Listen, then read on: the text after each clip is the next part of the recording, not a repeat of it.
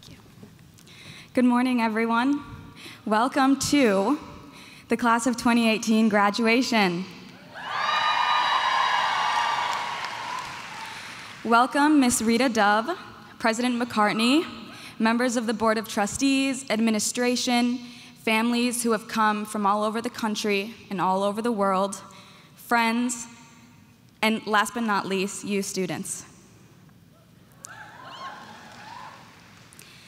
This is the 140th commencement. Seniors, this is your day. And it's a special one, not because of anything particular, except that we're inside for the first time in 15 years.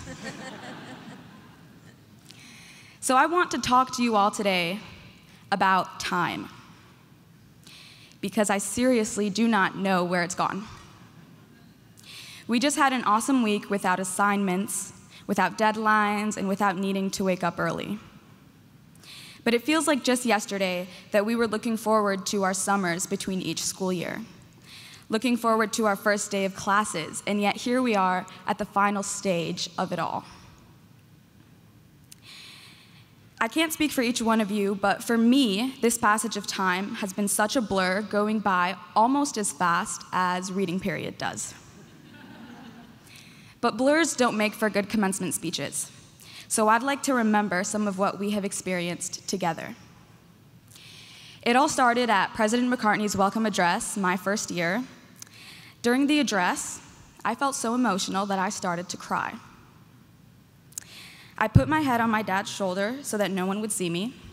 But behind us, a Smith College photographer with a good eye for capturing complicated emotions in a single image took a picture and posted it on Facebook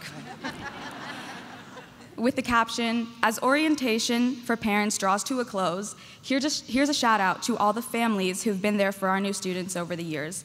Thanks for all you've done. And the caption seemed so celebratory, but to me, it didn't completely match my mixed feelings. My, oh my God, what am I doing here thoughts. Most of you were also in this crowd, sitting with your families or new friends. Perhaps you felt like you belonged, but perhaps you were questioning whether you made the right decision. And also, perhaps, maybe you were just worried that you would be asked about Whistling Vivaldi, the book we were supposed to read over the summer. And then came our next year, second year, the year that Smith rose in US News and World Report's annual National Liberal Arts College rankings, moving from 18th to 14th in the country. And this was mostly due to our improvements in faculty resources, selectivity, and reputation. And it was so great to hear that more high school students were considering Smith. But this was also the year of the infamous sophomore slump. We were no longer new to Smith as first years, and we were no longer, and we were, we were not old to Smith, about to graduate, so some of us felt caught in this in between. But there was also a newfound confidence on campus. We were navigating and pursuing opportunities, the opportunities that we wanted. Our interests became our majors. Our classmates became our best friends. Our professors became our mentors. We joined clubs and sports that taught us how to uh, throw a perfect three pointer, program a robot, sing our hearts out, or invest in stocks. Shout out Smith College Investment Club. then came junior year. The year when, on my birthday, October 14th, architect Maya Lin shared her plans for the redesign of Neilson Library. Neilson Library was the building where we had studied all day or night or both enjoyed afternoons curled up in the reading room with a book, and laughed at the instructions above the printer. I don't know if you guys remember, handwritten by a smithy to perform an exorcism on the printer if it started spewing out blank pages. I'm excited for the new Neilson, though. We'll see it on our fifth reunion and feel proud that we were the ones to bear its absence while it was being built. Some of us got to spend our times abroad junior year, I know this from Instagram pictures. I personally got to spend the year in London and will be moving back there after graduation. And no matter where you went junior year, we all experienced a major historical moment when in November, President Trump won the election. Whatever your po uh, political affiliation, I'm sure you remember that day. And now, senior year. We've all been asked the question how does it feel to be a senior, right? Well, how does it feel? Before we got to campus this year, we anticipated senioritis and wondered if our eagerness to graduate would distract us from being motivated or performing at our best. And yet, I saw so many of you spending hours in the library and in the campus center doing work, saying that you were busy with an optional research project, spending your spring break in Houston, volunteering after Hurricane Harvey, putting together Weaving Voices monologue series, or organizing weekly lectures um, by professors from four completely different fields to present to seniors who didn't have a chance to take their classes. Smithies are hard workers. We do our best, we get things done, and change the world around us while we're doing it.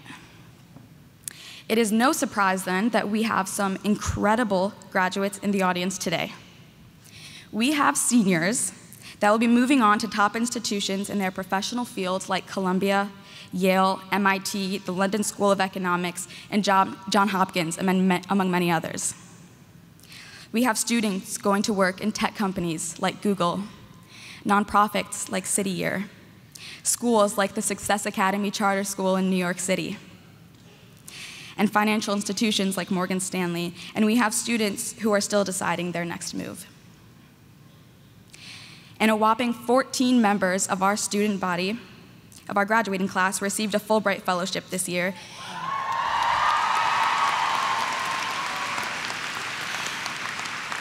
and will be spending the next year abroad in the Republic of Colombia, Taiwan, and elsewhere. Remembering these four years as we experience them together helps us remember that life has more meaning when we remember to look back. Reminding ourselves of all that we've experienced, of the lives we've touched, and the lessons we've learned. What has our time at this small liberal arts college meant for us? Our worlds are bigger we are more critical thinkers, we are more informed members of society, and after today, we are officially Smith alumni. so make your adventures timeless, your love timeless, your courage timeless. And know that whatever it is that we choose to do next, as the moments and years pass, we will forever be impacted by our time at Smith. I want to thank my incredible family, my friends, my Friedman House Hashimi Unit D roommates, for being there during the highs and the lows. And I'd like to send a special shout out to my family and my dad in Yemen. Barakallah fikum, God bless you. And lastly, congratulations to the class of 2018.